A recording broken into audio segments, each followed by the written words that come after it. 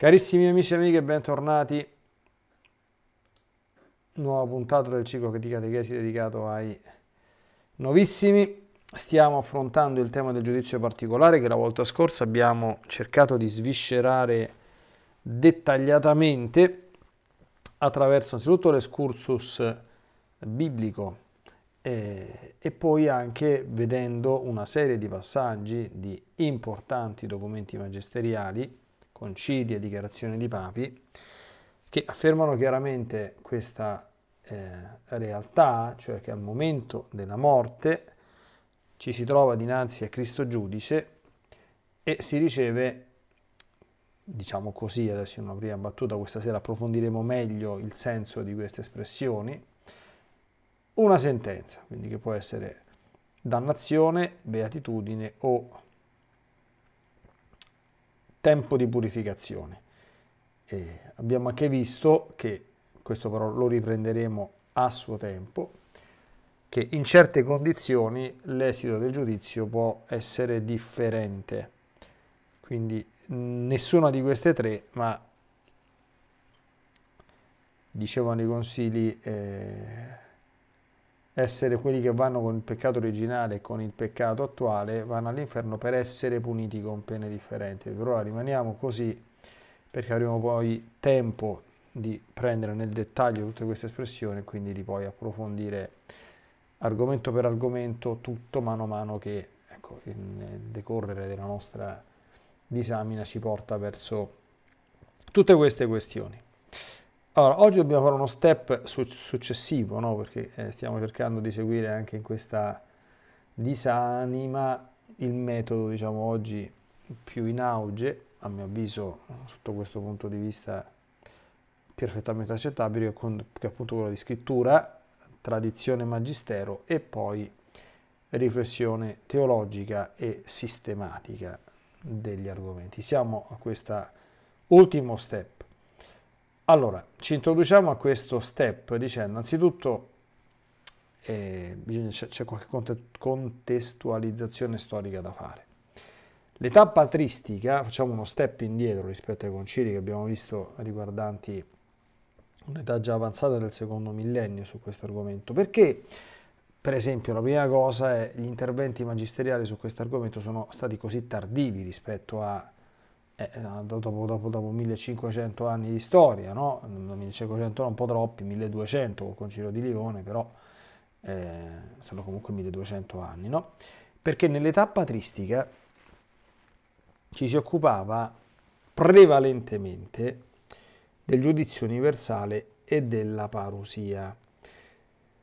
Come vedremo a suo tempo, questo eh, fu favorito anche dall'interpretazione letterale, molto molto letteralista quasi, ecco, di alcuni passaggi dell'Epistolero Paolino o anche di altri brani del Nuovo Testamento che sembravano, eh, come dire, suggerire una parusia imminente e quindi l'imminenza della, del giudizio universale e quindi della separazione definitiva, ecco, della Chiesa da ciò che Chiesa non è e da chi di Chiesa non fa parte.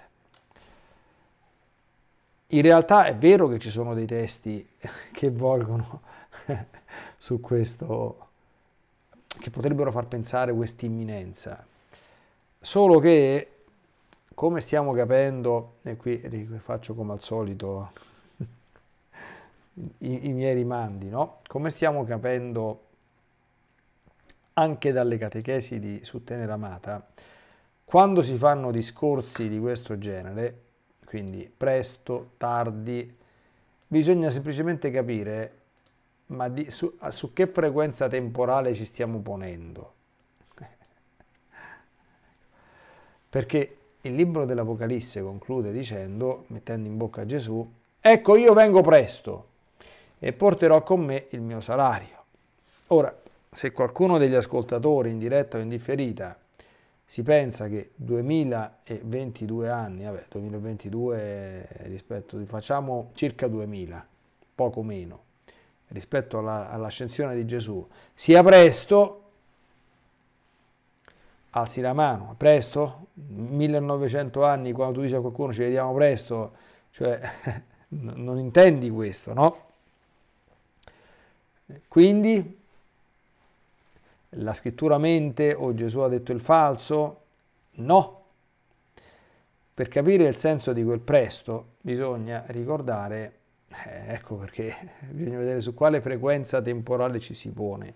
Noi abbiamo imparato dal libro di Teneramata che per esempio la frequenza ordinaria, cioè l'unità di misura fondamentale del tempo sul pianeta Terra, questo non ci serve Teneramata, lo sappiamo comunque, è il secondo, ma quello che noi non sappiamo e forse non sapevamo, forse qualche scienziato lo sa, ma non, non certamente molti, eh, ci sono altre frequenze con cui si possono misurare il tempo, molto molto più lente, molto molto più infinitesimali e ci sono delle frequenze certamente anche molto molto più intense.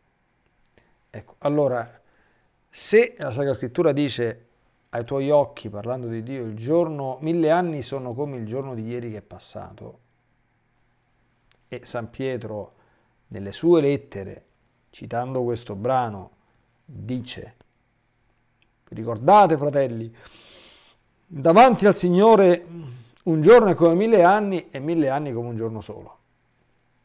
Allora, se sono passati circa 1900 anni dalla ascensione, in realtà non sono passati manco due giorni, giusto? Perché se un giorno vale mille anni, allora capite che se ci, se ci poniamo su questa frequenza temporale, se tu dici a un amico ci vediamo presto, se non sono passati neanche due giorni stai ancora in tempo, stai. Non diciamo che ci vuole almeno una settimana. Se, una persona dice ci vediamo presto e si fa vivo 3-4 giorni dopo, ha detto la verità. Certo, se si fa vivo un mese dopo è un po' troppo. Ok? Pensate se avesse ragione, così facciamo un'altra intercommissione, come dire, com come io sospetto. Eh quindi Luisa Piccarreta, che eh, Gesù a Luisa Piccarreta gli dice che ha, ha suddistinto la storia a blocchi di 2000 anni, partendo dalla creazione dell'uomo, situabile circa 4.000-4.500 anni avanti Cristo, si va avanti per blocchi di 2000, giudizio universale eh, diluvio universale, circa nel 2000 avanti Cristo, venuta di Cristo, eh, poi ci sono il primo e il secondo combattimento escatologico. Se la storia va avanti nei momenti nevralgici a, a, a salti di 2000, significa, mo sto, mo sto fantasticando un po', no? Che adesso sono passati due giorni, ma la parusia presumibilmente, stando a questa calendarizzazione, arriverebbe nel, intorno a 4000 e quindi se agli occhi del Signore mille anni sono come un giorno solo, sono passati quattro giorni. E quindi il nostro Signore evidentemente ha detto la verità, se lo sappiamo che dice la verità, però sto cercando eh, di far capire, no?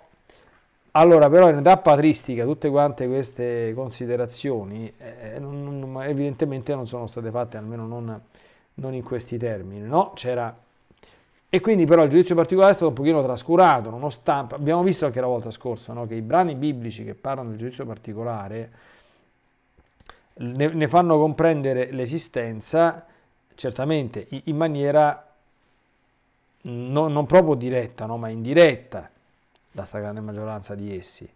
Cioè, certo, dice, se il ricco Pulone, stando nell'inferno tra i tormenti, se è morto vuol dire che è stato dannato, così come quell'altro stava nel, nel seno di Abramo, quindi il povero Lazzaro, no?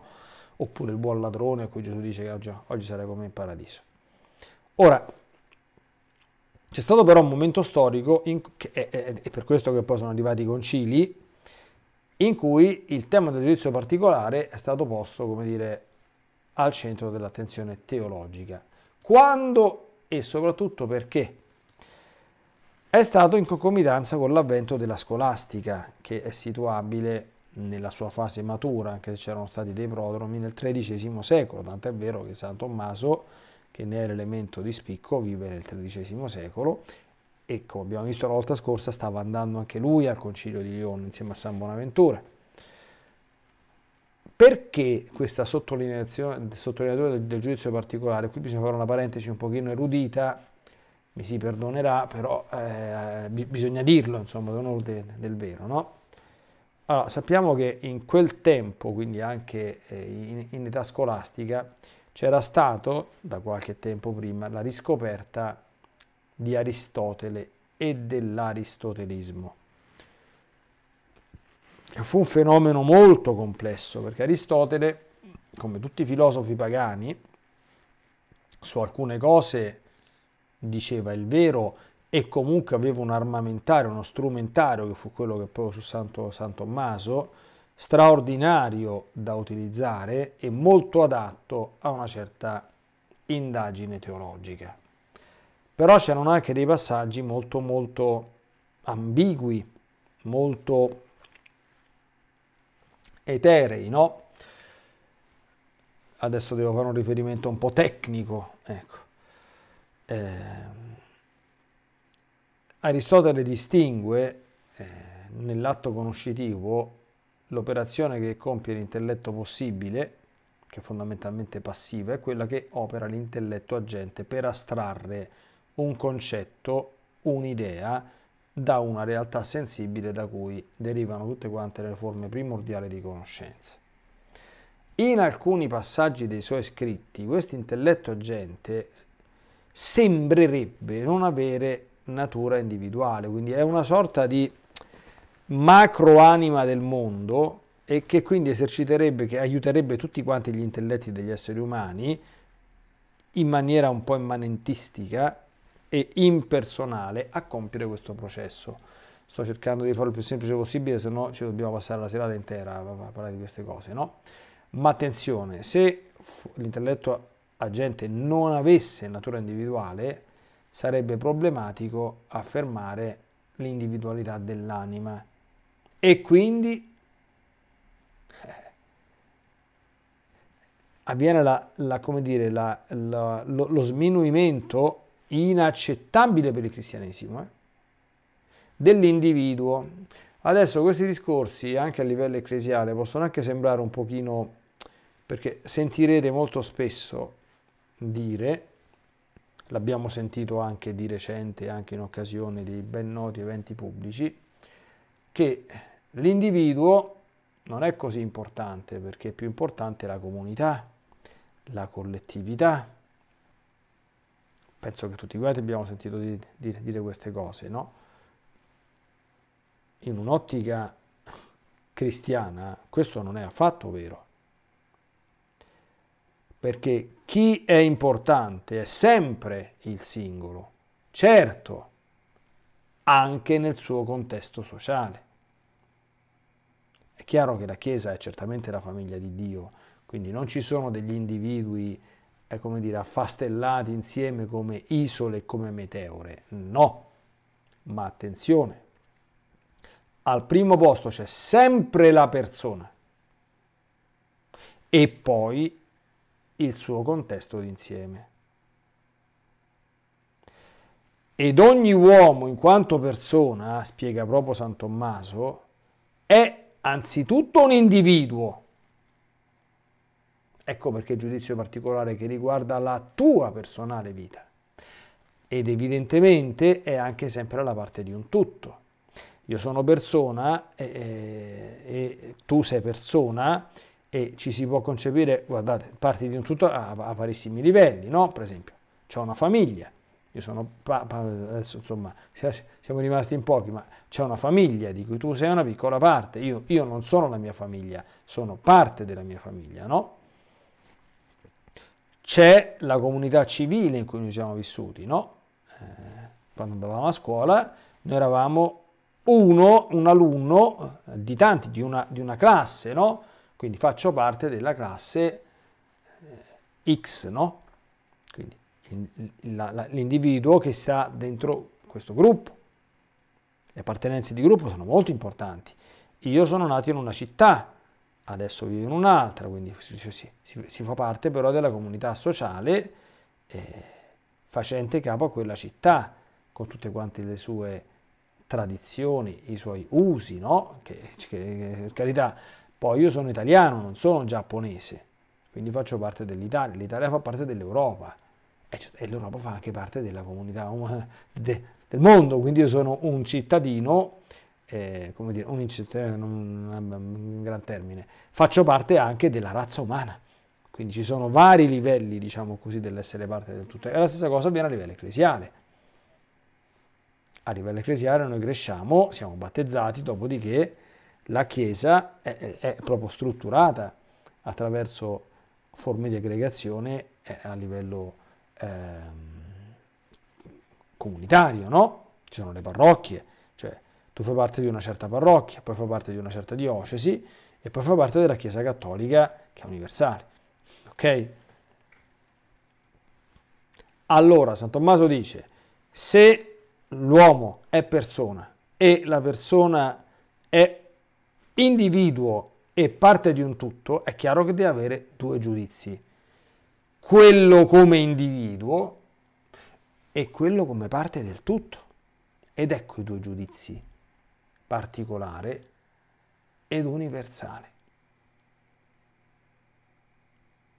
Particolare al momento della morte e riguarda la tua persona in quanto individuo, cioè quello che tu hai fatto davanti a Dio.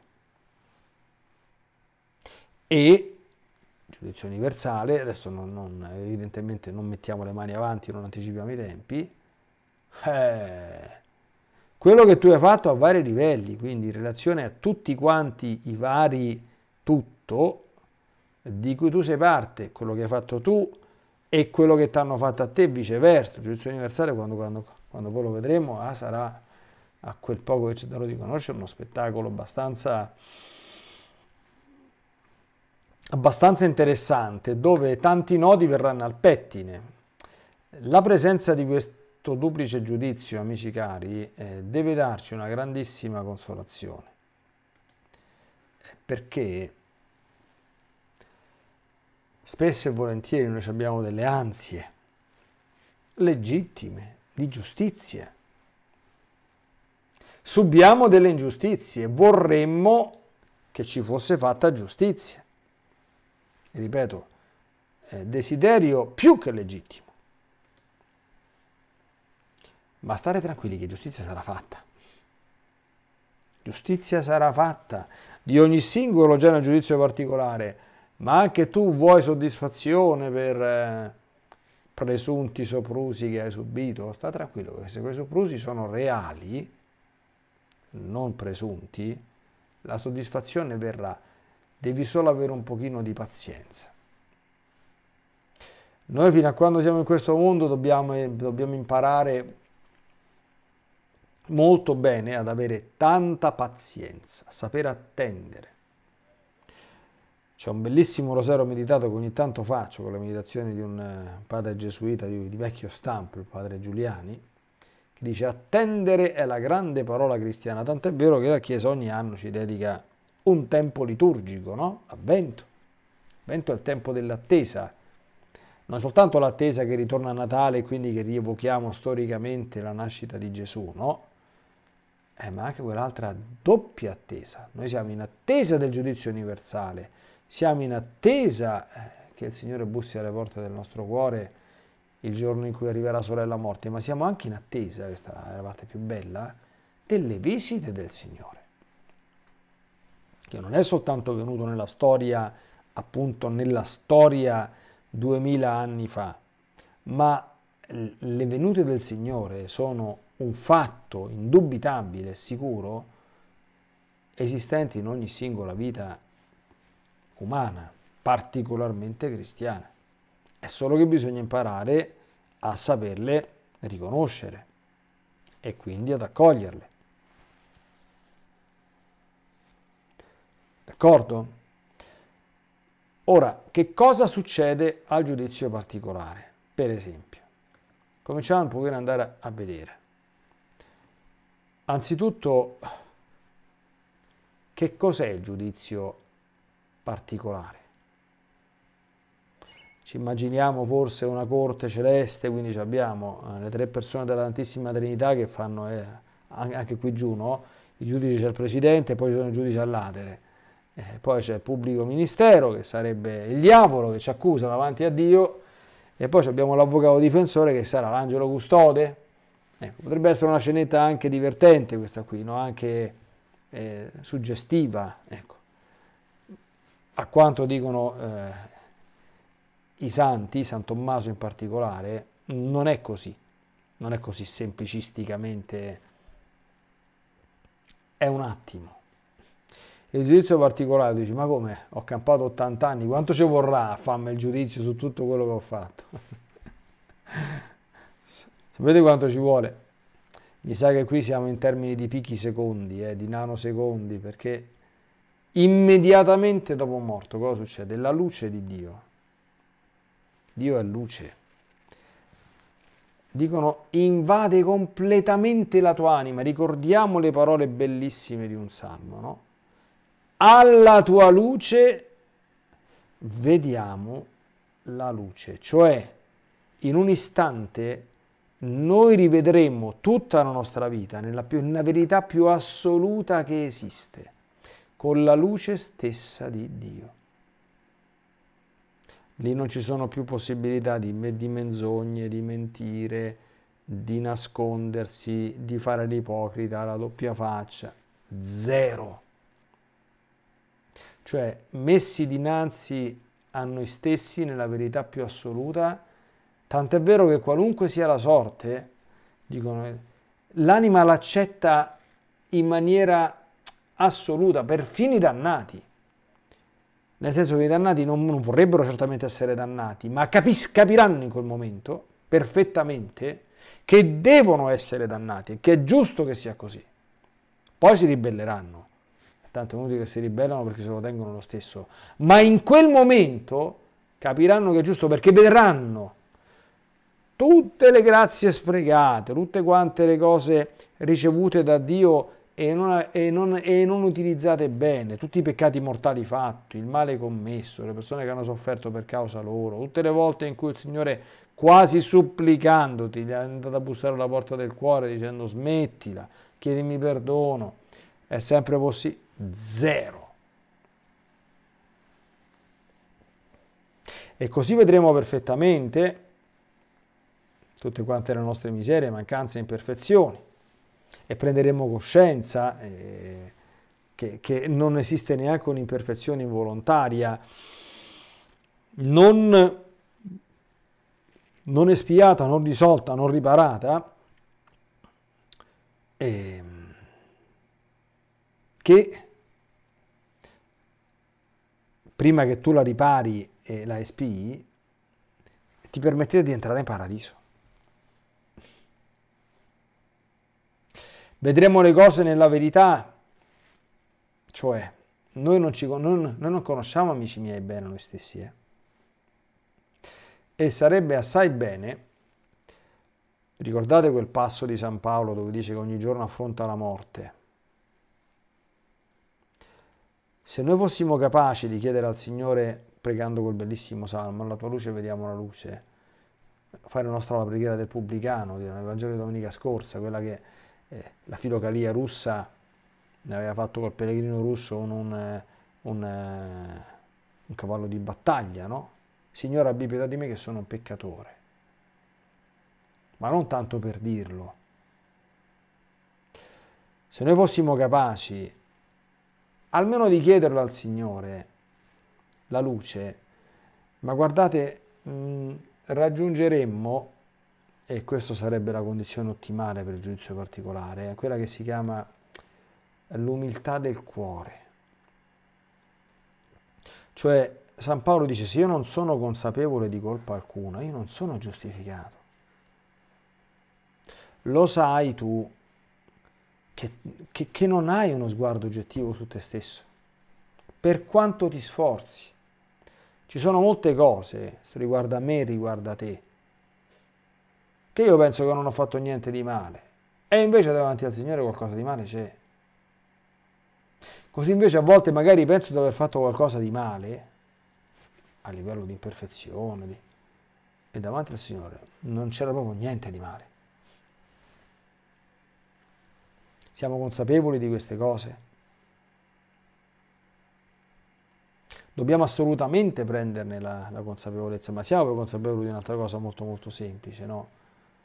Eh, ma chi di noi si può mettere davanti a Dio e, e competere? Cioè, cioè il, il giudizio particolare è uno dei luoghi teologici dove si mette in risalto che io sono un poveretto e Dio è Dio. Davanti a Lui non ci possiamo nascondere.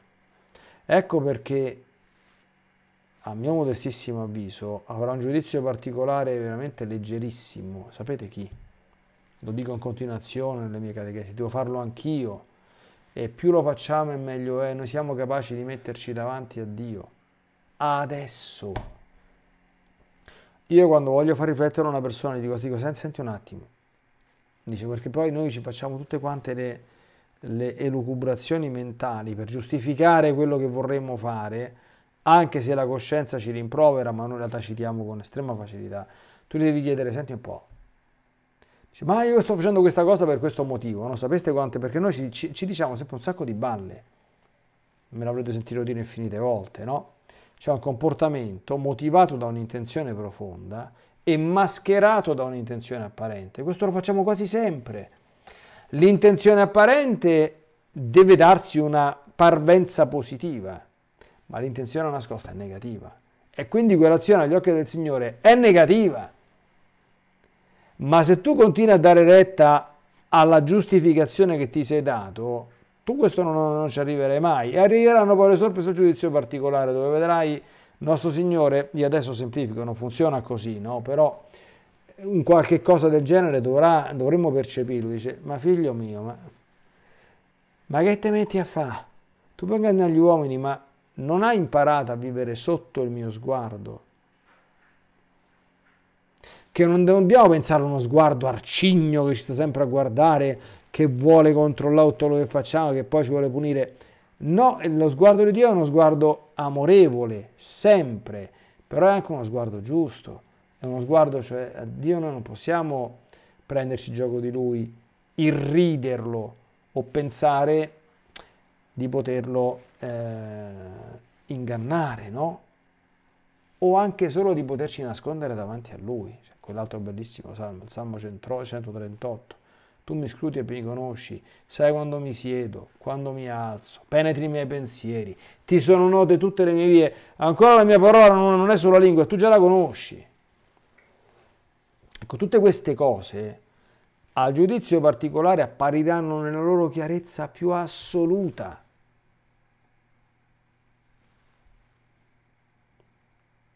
E nella misura in cui, ripeto, le abbiamo fatte nostre fin da questa vita, ci, ci prepariamo a questo evento. E inevitabilmente il giudizio particolare sarà leggero, no?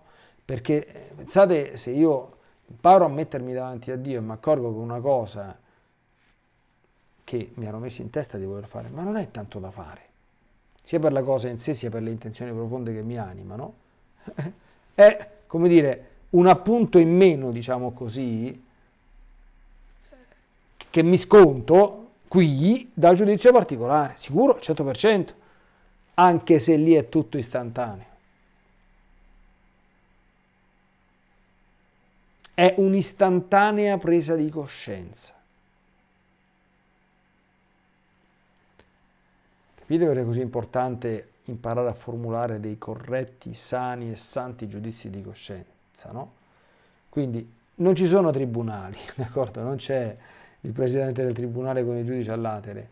È la luce di Dio che invade la tua coscienza, è il essere in un istante capace di rivedere in un battito d'ali tutta la tua vita così come Dio la vede. E immediatamente la sentenza del giudizio particolare, in realtà, l'anima se la potrebbe tranquillamente dare da sé, in un certo senso se la dà da sé. Perché mentre qui noi possiamo illuderci, dire, ah ma no, io sono tanto bravo, io non faccio niente di male. E che faccio di male? Non ammazzo, non rubo, non faccio niente. Lì non succede perché tutto, quel male, tutto il male che hai fatto verrà fuori. Io vi invito, se qualcuno vuole farsi un regalino se non l'avesse mai fatto, a leggervi il libro di, Do, di Gloria Polo. Sono state alle porte dell'inferi e, de, del, del, dell'inferno di questa dentista colombiana che a causa di un fulmine entra in coma e durante il coma vede quello che gli sarebbe successo se, se fosse morta in quella circostanza. Attenzione, chiaramente cattolica, praticante non abbastanza, che però non aveva fatto tutti i colori, si leggono nel libro. Per esempio era stata colpita dal fulmine perché portava la spirale. Spirale che tra i mezzi contraccettivi è il più grave di tutti, ma quella si faceva tranquillamente la, la comunione la, la domenica con tutta quanta la spirale addosso aveva commesso il delitto di aborto, credo, sì, credo di sì se non, se non ricordo male, e tante altre cose, eppure lei pensava di essere una bravissima persona, era una professionista stimata, e quindi che, che, che avrò fatto mai? Lì in quel momento capisce che se fosse morta sarebbe andata dritta dritta all'inferno non lo pensava. Per, altro particolare non da nulla, no? Adesso si ricomincia a parlare, speriamo che la piantino, ma se ne è parlato nei mesi scorsi, no? Dell'eutanasia. Imbecilli proprio, guarda. Vatti a leggere il libro di Gloria Polo e quando lei stava in coma, quindi coma vuol dire che tu non sei cosciente, ma la nostra anima coincide con la nostra coscienza, ma noi che cosa ne sappiamo? se non ce lo dice Gloria Polo, uno che c'è stato, che cosa accade in quei momenti. Come fa un, uno a sostituirsi alla volontà del malato? In certi casi è possibile farlo quando è provata l'eutanasia, a dire no, questo, questo lo facciamo fuori che non merita più di vivere. Quelli stavano discutendo se staccare la spina quella da, e, e, e Gloria Polo, chiaramente senza potersi far sentire perché i sensi erano fermi, perché stava in coma, ma pur, sta, pure stando i, i sensi fermi, lei viveva e come? Ma era consapevolissima e quando, quando si accorse che questi volevano staccare le spine, non poteva farlo, ma lei stava disperata perché dice non è staccata la spina, se mi stacchi la spina adesso mi vado dritta dritta all'inferno. Grazie a Dio non l'hanno, non, non, non, non l'hanno staccata la spina, ma lei racconta che questa cosa la viveva. Quindi dice che te stacchi la spina che il nostro Signore disse io adesso ti concedo, vedi, vedi, questa è la fine che avresti fatto, io ti concedo di tornare sulla terra, purché tu racconti una quantità smisurata di volte, all'edificazione evidentemente di chi non ci crede questa storia. Perché il nostro Signore non si contenta, vedete questo è un ciclo di catechesi, qui stiamo vedendo i, la Sacra Scrittura, i concili e la riflessione teologica prevalentemente a riguardo di San Tommaso. Ma siccome molte volte queste cose non bastano, non ti manda la rivelazione privata, e qualche raro caso eh, ti fa fare un'esperienza personale a te che ti convince proprio che le cose non stanno come la pensi tu, ma stanno esattamente come le insegni, in maniera sempre, come dire, asettica e eh, ordinata, ma puntuale e precisa la Chiesa.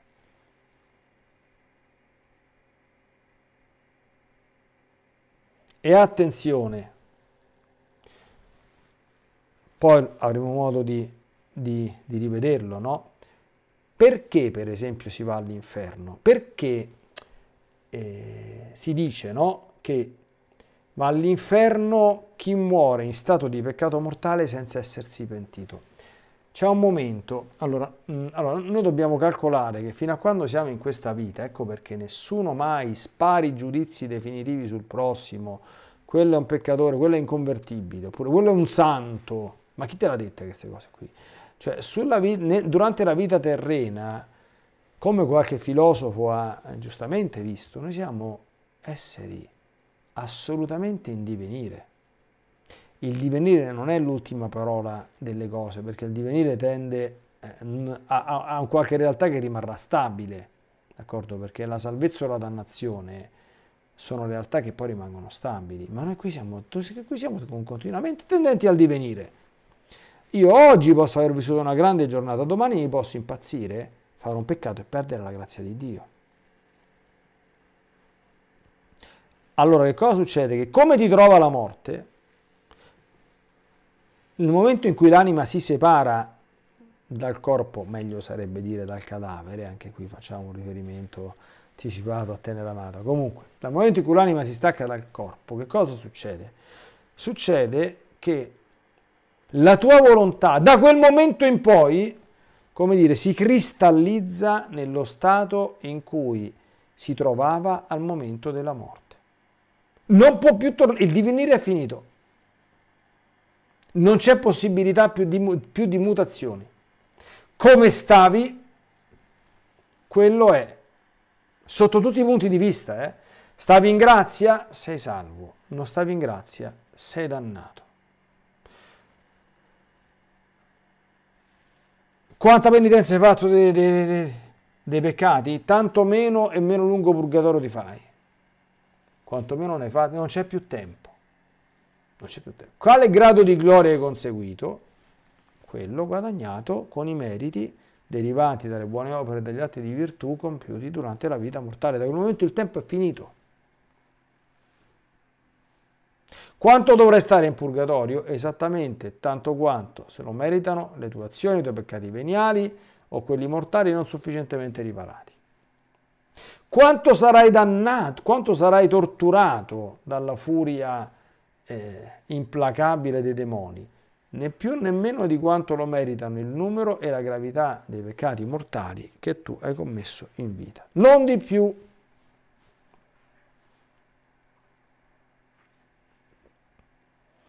Quindi al momento della morte il divenire cessa, la volontà si radica.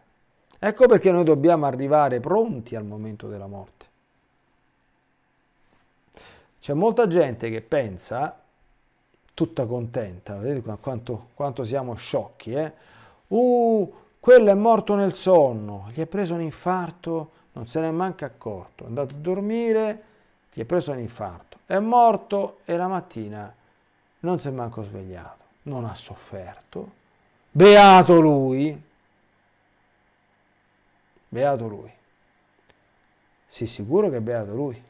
Dipende come è andato a dormire quella sera. Perché se prima di andare a dormire avessi detto una bestemmia, beato lui? Se c'ha dei peccati mortali di cui era consapevole e che non ha mai confessato in vita, non ha mai fatto la confessione generale, beato lui? Sicuro? Siamo andati in vacanza il Padre Eterno trascurando la messa domenicale per qualche decennio. E non ha avuto tempo di ripararle fino all'ultimo. Voi sapete che per aprire un'altra finestra inedita su una mistica morta non molto tempo fa, apparentemente attendibile, ma questo non ci vuole la mistica, ci basta il buon senso, io questo ne sono d'accordo al 100%, ma non perché lo dice la mistica, ma perché non ho nessun dubbio che sia così. Voi sapete che ogni peccato che noi facciamo deve essere riparato con un atto uguale e contrario. Allora, se tu sei mancato da messa, che ne so, hai fatto la crisi e dopodiché hai fatto il, lo zingaro fino a 40 anni. C'hai 18-15 anni di messe domenicali perdute e festive. Allora si fa presto a fare i conti, eh? Eh, ci sono 52 domeniche e 6 feste comandate. Sono 58. Per 10 anni sono 580 messe. Per 20 sono 1060. Per recuperare 1060 messe verse devi andare a messa tutti i giorni per tre anni di seguito. Tutto qua. Maria Simma diceva, mancate, mancate la messa domenicale, ma sappi che di ogni singola messa a cui sei mancato, o devo confessarti, il Signore ti chiede conto, a meno che dopo che ti sei confessato non la recuperi. Evidentemente potendo, potendo significa anche a costo di qualche sacrificio, eh, perché a volte eh, non è che potendo significa a buon mercato, no, potendo significa potendo. Quindi siamo proprio sicuri che quello che è morto in queste condizioni, cioè, e la grande domanda che dobbiamo farci è ogni sera che andiamo a dormire, perché la, la morte, la, la notte, scusate, è figura del sonno della morte, no? Non c'è bisogno di Leopardi, di ricordare Leopardi per capire questa cosa, forse perché della fatal quiete tu sei l'imago, a me si cara vieni o sera, no? Tutti quanti penso che ricorderemo questi splendidi versi, no? La notte è immagine figura della morte. E a te che mi stai ascoltando, facciamo prima quelli che stanno in diretta. Se questa notte, come dice Giovanni nel Vangelo, ti sarà chiesta la tua anima, tu che gli racconti al nostro Signore? Come stai? Sei arrivato preparato? Hai pagato i debiti? Hai pagato i conti con la divina giustizia? Hai riparato il male che hai fatto? L'hai espiato? Ne hai fatto penitenza? Stai in grazia? Ti sei confessato? Noi dobbiamo essere sempre pronti al giudizio particolare. Cioè, il divenire della vita sul pianeta Terra, eh, io eh, ricordo bene, cioè, eh, quando ero piccolo c'è stato un mio parente, abbastanza vicino tra l'altro, come pomeriggio è uscito, per andare a lavorare. E a casa non c'è tornato. Gli ha preso un bel infarto, fine.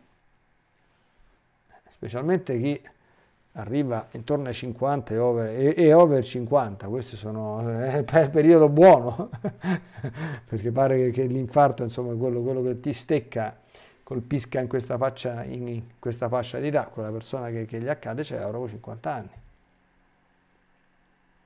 E che andiamo a raccontare nostro Signore? Siamo pronti? Siamo in grado? Siamo capaci? Ce la facciamo?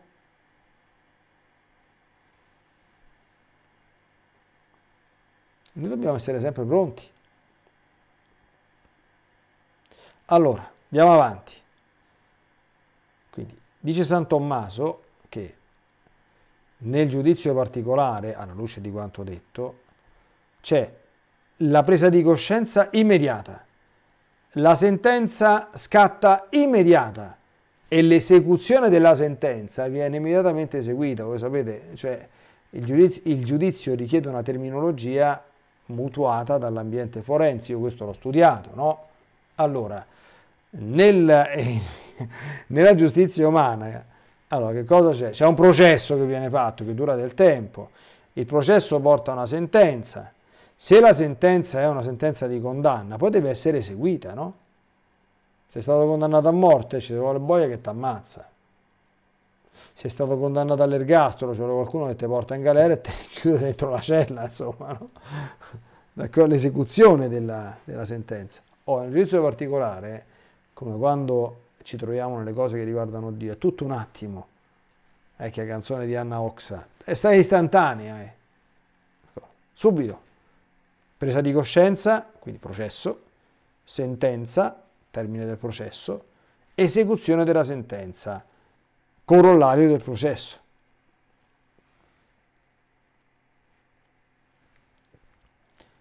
Ed è evidente che il posto eminente, preeminente, non è nel giudizio particolare il processo, perché il processo non, non, non c'è di fatto, perché il, cioè c'è ma non c'è, perché è una cosa istantanea. Quindi l'importante è il verdetto e l'esecuzione.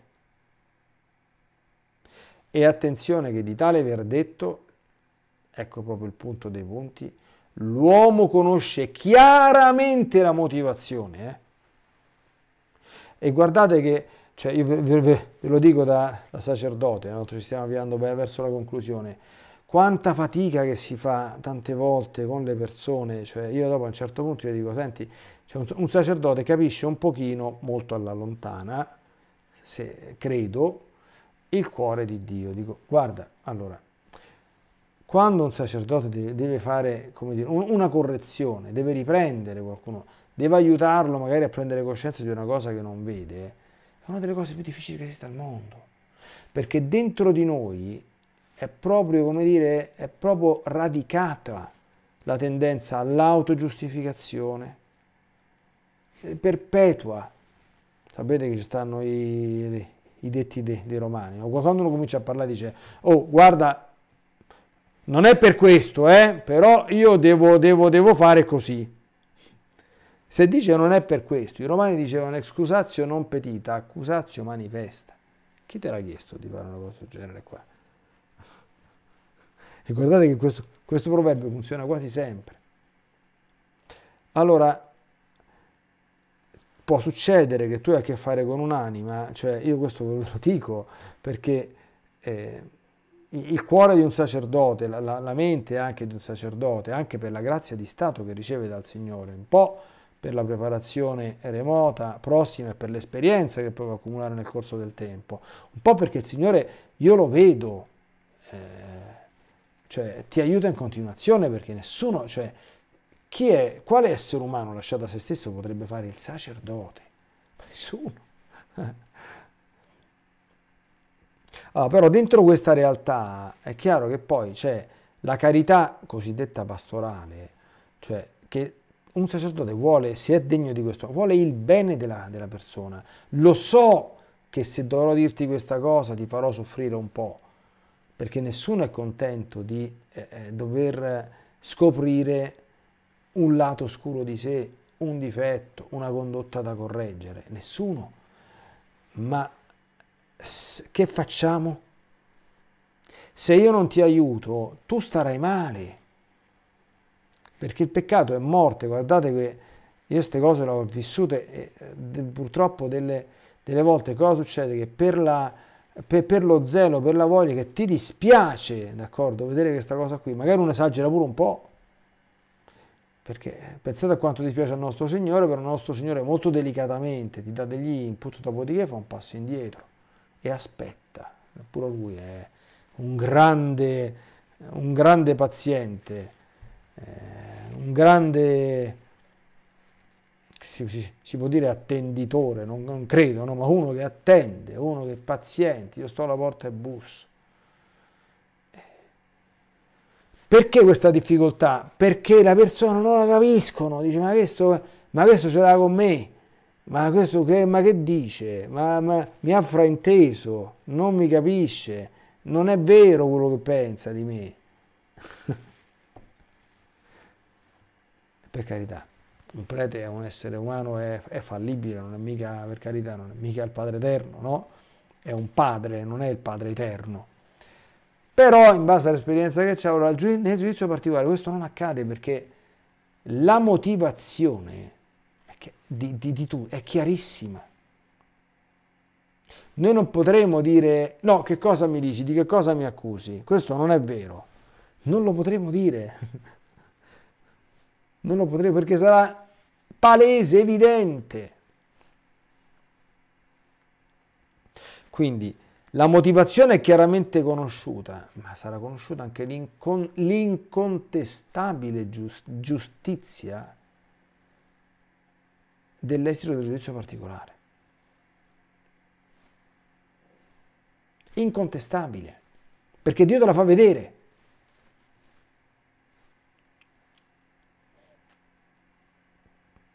Allora, volendo concludere le, ho già dette alcune cose, no? così archiviamo il giudizio particolare. Per fare in modo che questo giudizio sia leggerissimo ci sono alcune, alcuni accorgimenti. Numero, pri, numero uno, la cosa fondamentale è vivere da grandi amici di Gesù e di Maria, perché se la tua volontà è buona, e questa è la buona volontà troppo frettolosamente messa nel dimenticatoio, la buona volontà è la nostra, è la nostra, è la nostra salvezza. Cioè, se tu hai una volontà buona, cioè se tu sinceramente nel cuore, e questo lo sai anche tu, e Dio lo vede, cerchi il Signore, vuoi servirlo, vuoi amarlo, vuoi conoscerlo di più, quindi non faresti un peccato ad occhi aperti, sei già sulla buona strada. Chi sta in questo modo non deve temere il giudizio particolare, perché il giudizio particolare deve essere temuto eh, eh, non da chi è amico di Gesù e di Maria, da chi porta i loro nomi nel cuore e li ama, perché per chi li ama, loro vengono come, come amici, certo, anche per loro, anche, anche dinanzi ai loro amici devono essere imparziali, devono essere giusti, perché non ci sono figli dell'oca bianca, ma insomma una persona che vive nella buona volontà, che ha, che ha sistemato i conti con il passato, che ha fatto la confessione generale, eh, insomma, rischia fino alla fine, per carità, perché il demonio ci tenta fino alla fine, però se tutto va bene è difficile che va a finire dannata, no? Dobbiamo chiedere sempre il dono della, della perseveranza finale. Il problema grosso, e questa catechesi dovrebbe, cioè, eh, dovrebbe servire a scuotere soprattutto queste coscienze, è chi non sta in questa condizione, è chi, è chi sta già rischiando e lo sa, in fondo in fondo lo sa, perché si rimette in carreggiata il più presto possibile. Perché poi arrivato al momento del giudizio, quello che c'è stato c'è stato. E come dicono i francesi, rien ne va più, i giochi sono fatti, sono finiti, non si torna più indietro, non si possono più cambiare le carte in tavola. Quindi teniamo presente questa, ehm, questa cristallizzazione, questa radic- radicazione, se mi si passa questo termine, della volontà nello stato in cui si trova. Ecco perché gli angeli hanno detto pace in terra agli uomini di buona volontà. Perché gli uomini di buona volontà l'accoglieranno la pace del Signore, l'accoglieranno la parola del Signore, cercheranno di servire il Signore. E non troveranno un giudice inesorabile, ma troveranno un giudice clemente, clementissimo, un amico, prima che un giudice. Bene amici, direi che possiamo eh, con questo più o meno ecco, mh, mm, consegnare nelle mani del Signore il giudizio particolare. Mi raccomando, arriviamoci preparati. E... Prossimo tema, è sempre meglio procedere per togliersi i denti, quindi ci stanno inferno, purgatorio e paradiso, no? Seguiamo lo schema di Dante Alighieri. Prima le brutte notizie, poi le intermedie e poi le belle notizie, quindi seguiremo quest'ordine. Certamente quando si parla dell'inferno le notizie non sono un granché, però anche qui meglio saperle prima tante cose, piuttosto che doverle constatare quando non è più possibile porvi rimedio. Dio vi benedica e la Santa Vergine a tutti e sempre vi protegga.